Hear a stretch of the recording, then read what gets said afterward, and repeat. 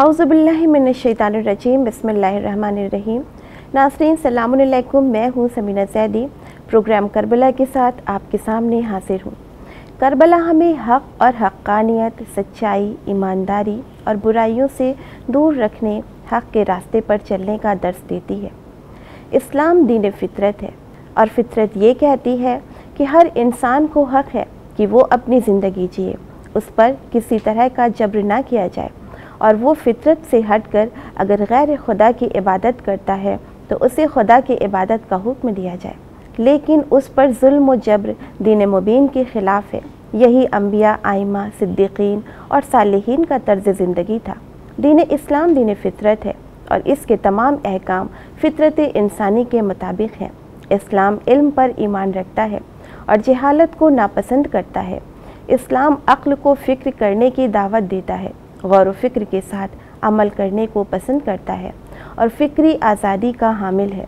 दीन इस्लाम किसी फ़र्द या जमात के लिए मखसूस नहीं है, बल्कि कायनात का एक निज़ाम है। इस्लाम जिहाद की दावत देता है और ज़िल्लत की ज़िंदगी से इज़्ज़त की मौत को बेहतर करार देता है। मालिक हकीकी अल्लाह रब्बुल इज़्ज़त ही है और वो ही अता करने वाला है। बस इन तमाम कवानीन को समझते हुए उन पर अमल करने की कोशिश करना चाहिए। आज के अपने प्रोग्राम में हम करबला और इमाम हुसैन अलैहिस्सलाम का तस्करा करेंगे कि आप किस कदर रसूल अकरम अलैहि वसल्लम को अज़ीज़ थे। लेकिन फिर भी आपको इतनी अजियत दी गई कि आपको मदीना छोड़ना पड़ा। नासरीन, इमाम हुसैन अलैहिस्सलाम की मंजिलत बयान करने के लिए यही बात काफ़ी है कि आप पैगंबर इस्लाम मोहम्मद मुस्तफ़ा अलैहि वसल्लम के बहुत चहेते थे और इसी वजह से सबको बहुत ज़्यादा प्यारे थे। पैगंबर अक्रम ने ही आपका नाम हुसैन रखा।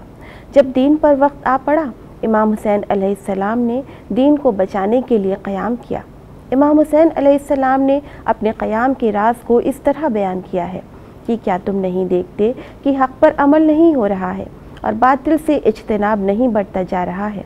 आपने हर तरह के हालात का मुकाबला किया और बातिल की पैरवी नहीं की।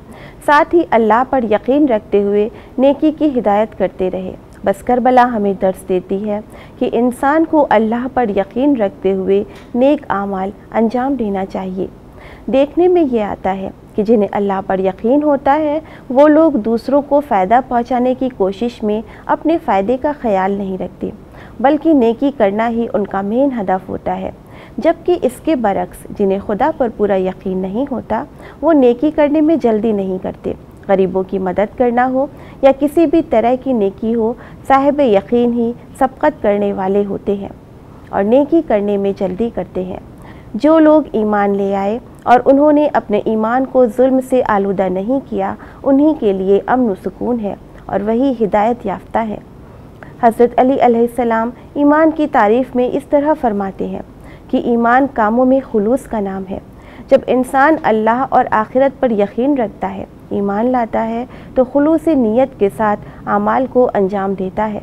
और खलूस नीयत के साथ अंजाम दिए गए अमाल को अल्लाह सुबह ताला पसंद फरमाता है।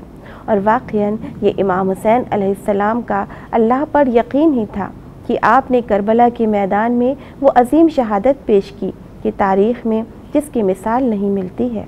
वाक़ करबला दीन इस्लाम की बका है।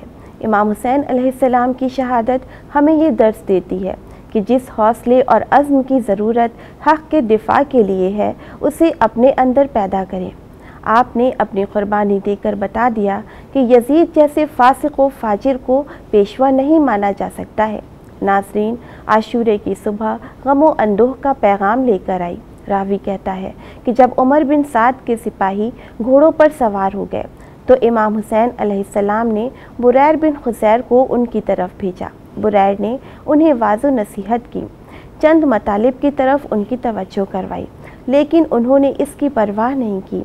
उसके बाद इमाम हुसैन अलैहिस्सलाम घोड़े पर सवार हुए और उमर बिन साद के साथियों से खामोश होने के लिए कहा और अपने खुतबे की तरफ़ मुतवजह किया और वो सब खामोश हो गए। इमाम हुसैन अलैहिस्सलाम ने खुदा की हमद सना मोहम्मद व आल मोहम्मद पर दरूद सलाम अम्बिया और मलाइका पर दरूद भेजने के बाद इरशाद फरमाया, ऐ लोगों वाय हो तुम पर कि मुसीबत की हालत में हमसे मदद तलब की और हम मदद के लिए जल्द हाजिर हो गए।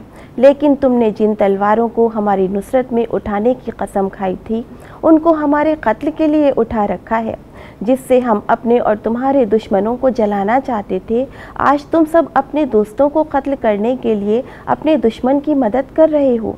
हालाँकि ना उन्होंने तुम्हारे दरमियान अदलो इंसाफ को राइज किया, और ना तो उनकी मदद करने में तुम्हें खुशी की उम्मीद होनी चाहिए। तुम परवाए हो किस लिए हमारी नुसरत से हाथ उठा लिया? हालाँकि तलवारें नियामों में और दिल मुतमिन पुरसकून और इरादे मोहकम हो चुके थे, लेकिन बावजूद इसके तुमने फितने की आग जलाने में टिड्डियों की मानिंद जल्दी की और अपने आप को आग में डाल दिया। ए हक, इस्लाम के दुश्मनों, ए कुरान से मुँह मोड़ने वालों और उसके कलेमात में तहरीफ करने वालों, ए गुनहगार लोगों शैतानी वसवसों की पैरवी करने वालों पैगंबर इस्लाम की शरीयत और सुन्नत को मिटाने वालों, खुदा की रहमत तुम्हारे शामिल हाल ना हो। इन पलीद लोगों की हिमायत तो कर रहे हो, लेकिन हमारी नुसरत से दस्तबरदार हो गए हो। और फिर आपने यजीद की बदनीयती का बयान लोगों के सामने किया। लेकिन लोगों के दिलों पर इन नेक बातों का असर नहीं हुआ। उनकी तलवारें नवाज़ रसूल के खून की प्यासी थीं। वो इस बात को भूल गए कि आपके नाना आपसे कितनी मोहब्बत फरमाते थे और हक़ व बातिल में फ़र्क को महसूस ना कर सके। बातिल का साथ देने के लिए ही आमादा रहे। इसलिए ही शैतानी वसवसों से दूर रहने की कोशिश करें और अहल बैत अतहार की मोहब्बत और मवदत के साथ नेकियों में सबकत करें। ईमान की मजबूती के साथ खलूस से अमल अंजाम दें। हज़रत अली फरमाते हैं, इखलास ईमान का बुलंद तरीन मरतबा है। अमल का दारो मदार नीयत पर है। छोटी छोटी नीयत की खराबी बड़े बड़े अमाल को ख़राब कर देती है। अगर नीयत सही नहीं होती तो सवाब के बजाय अजाब मिलता है। तकबर दिखावा खुदा को बिल्कुल पसंद नहीं है।